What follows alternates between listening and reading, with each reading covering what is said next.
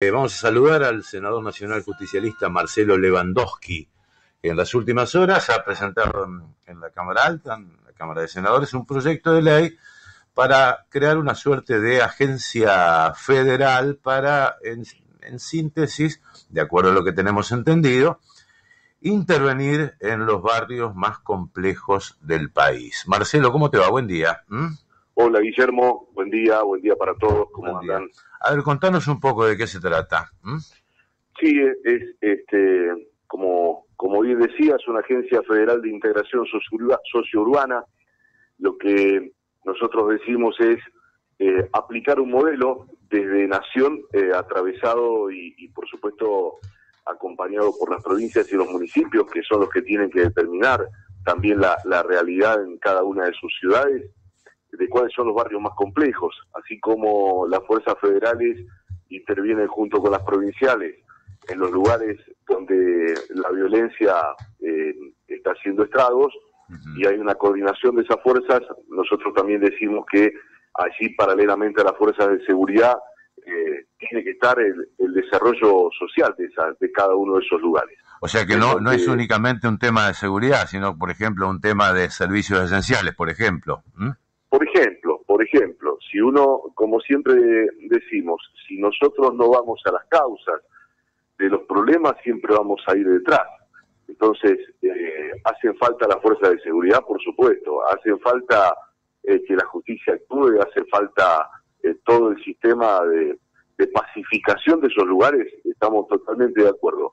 Pero si nos quedamos solamente con eso, vamos a ir corriendo detrás porque hay otros problemas de base que no son atacados. Eh, y, eso es lo que nosotros tendemos a esto para que haya una planificación, algo que, que no descubrimos nosotros, sino que tomamos modelos de otros países que ya han actuado de esta misma manera, como fueron la reconversión de favelas en Brasil, como fue el proceso de Medellín, también aplicamos y, contamos ahí en los fundamentos, eh, Inglaterra y Gales eh, tuvieron un proceso parecido.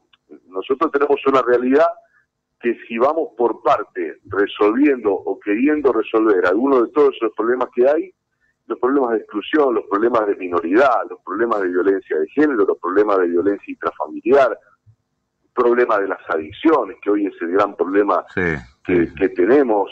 Eh, si nos quedamos discutiendo por partes cada uno de estos temas, eh, vamos a ir, eh, realmente no vamos a llegar a la solución de fondo. Entonces nosotros decimos, una agencia eh, que se conforme, que tenga un control cruzado, no solamente del Ejecutivo, sino proponemos una bicameral para que, permanentemente esta agencia pueda eh, marcar, contar el rumbo y contar los resultados de la misma. Ahora, eh, ¿crees que más allá de, del consenso que tiene que haber entre nación, provincia y municipios, ¿no? Eh, ¿Crees que va a haber también consenso político para hacerlo en un país tan agrietado y tan crispado como estamos, estamos viviendo? ¿Mm? Mira, Guillermo, la, mm, este, en, los fundamentos, si vos este, y haces un poquito un, repaso, eh, la, ley nacional o el registro nacional de barrios populares se creó en el 2018 eh, y se puso a trabajar a distintas entidades, eh, con lo cual, uno que está diciendo, gobernaba Macri en aquel momento y, y, tuvo un comienzo. bueno, lo que nosotros decimos es eh, tomemos y nosotros nos tomamos a partir de esa de esa ley que se creó la la, la 27453 eh, y, y poner una una eh, una estrategia eh, general y que no cada uno haga lo que quiera sino que incluso hay una posibilidad a nivel mundial de distintos programas de distintas entidades eh, que podrían subsidiar muchos de estos programas de alfabetización, eh, de, a, ver, esto, esto claro, ahora se va a discutir todo este tema vinculado a bajamos la imputabilidad, no la bajamos. Digamos, hay una, una ley en donde eh, el menor se vuelve a la casa, como la casa que conocimos nosotros, el hogar donde está la madre o está el padre. Hoy hay hogares en donde los chicos se, este, se crían con una hermana mayor porque el padre está detenido, la madre no está o sale a trabajar todo el día eh, y no puede estar en la casa. Digamos, las realidades son muy complejas. Entonces, Eh, eso, y, y esto es otro detalle también que nosotros puntualizamos. No es el Estado marcando, sí el Estado marcando y conduciendo, pero la participación de todas las entidades del barrio, no es que viene el Estado y dice lo que hay que hacer y todos a la casa. El Estado es trabajando con las asociaciones del barrio, eh, donde hay una vecinal, donde hay un club, donde hay eh, distintas entidades que pueden servir de contención a todos esos lugares. Pero esos, esos lugares también tienen que tener una ayuda porque no pueden por sí solos este, eh, llevar adelante las tareas que, necesitan. Ahora, y, esto necesita financiamiento, Marcelo, ¿no? ¿Qué pasa cuando desde el gobierno nacional te dicen no hay plata? ¿Qué haces?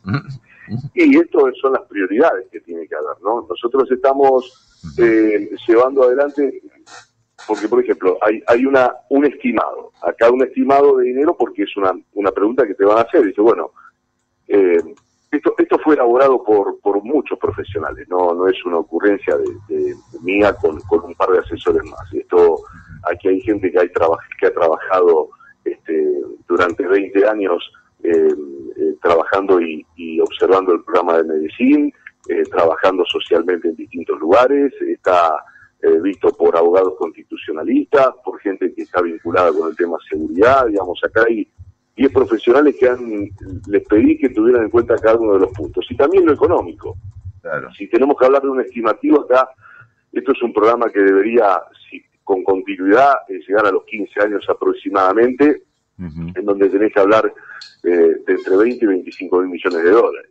Por eso Argentina solo lo puede hacer, no, no lo puede hacer. Pero hay eh, muchos programas de financiación en el mundo que si vos rendís las cuentas y, lo, y los traes, eh, hay, eh, realmente hay del Banco Mundial, de CAF, de, distintos lugares en donde vos podés empezar. Ahora, estamos hablando de una cifra inalcanzable, estamos hablando de un país que acaba de aprobar un RIGI, pero lamentablemente los beneficios y las ventajas de, lo que tenemos en nuestro subsuelo eh, son para muy pocos. Entonces, lugares para financiar esto hay, hay muchos. Incluso hay, hay, hay una parte que nosotros no lo hemos puesto, pero sí, este, sí es una alternativa que la estamos trabajando con el, con el sector económico y cuando, y cuando ojalá tengamos la posibilidad de tratarlo en comisiones lo podemos incorporar, que es un capítulo para las exenciones impositivas para aquellos privados que quieran participar de esto,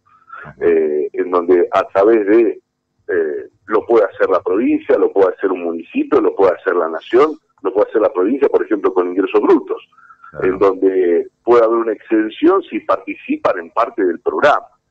Este, por supuesto que estamos hablando de un proyecto ambicioso, por supuesto que estamos hablando de un proyecto a largo plazo, pero que al menos en algunos lugares debemos empezar, al menos en, en una instancia de las fuerzas de seguridad, pero si las fuerzas de seguridad se van, porque no pueden estar toda la vida, las fuerzas de seguridad se van, tiene ese barrio pacificado, también uno, este, dentro de los fundamentos, estamos hablando que los bienes incautados también pueden formar parte de, esa estrategia en donde eh, pueden alimentar ese fondo que necesitamos para, eh, bueno para un plan eh, integral de todo esto.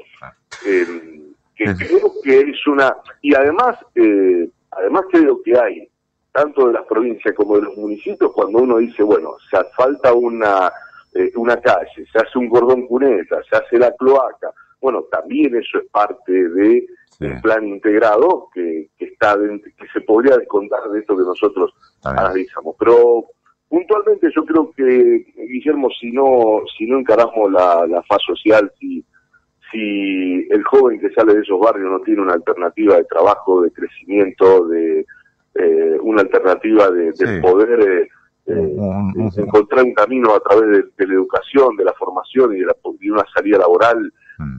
todo lo demás es muy complicado. ¿no? Marcelo, te, aprovechamos un minuto más por una de tus pasiones, más, más allá del acordeón, ¿no? Que, que, que, la pasión de, de, comentarista deportivo, ¿no? ¿Cómo estás viendo este este tema de, los cantos racistas de parte de la selección que ha derivado en un conflicto político. ¿Cómo, estás viendo este tema en tu, en tu, experiencia? Sí, a ver, yo no creo, que es espantoso, ¿no? Eh, es espantoso porque Argentina, si algo es, este, o por lo menos de lo que uno se crió, eh, si veo que antes, de pronto cuando había un comentario racista eh, y teníamos algún amigo que lo hacía, se cuidaba de hacerlo entre, entre un grupo de amigos o que no lo escucharan otros. Hoy hay expresiones racistas en los medios de comunicación y, parece que lo naturalizamos. Yo no creo que, que se lo haya hecho como, como una cuestión hasta, hasta consciente, digamos, hasta, y, lo tomo como algo vinculado al, al, al, mero hecho futbolístico, pero lo que pasa es que bueno, eh, no, es, no es lo mismo que lo diga un hincha en una tribuna que lo diga un jugador de fútbol eh, en un vestuario y, y, además sabiendo que sale de ese vestuario y se tiene que ir a convivir a vestuarios en donde juega permanentemente con ese contexto. Entonces, creo que ha sido un exabrupto que no imaginaron que se iba a, a, a viralizar y que me parece que no está en la esencia de, ello, ¿no? que lo tomaron como un hecho futbolístico, pero creo que hay que tomar conciencia de que estas cosas cada vez pasan más, que estamos en un mundo que va a, que, que está hace eh, varios años en esta instancia y mm. que hay que tener mucho cuidado y que también hay cosas que eh, cuando uno es, una persona pública no cualquier cosa ni en cualquier ámbito se puede decir y señalar. Eh, son, eh, bueno, son ellos y cada uno de nosotros que nos expresamos una suerte de, eh, no de ejemplo, pero sí que nos están mirando. Y mucho más un jugador que, que los chicos se, tatúan en, el brazo, se ponen la camiseta con su nombre, los tienen como ídolos.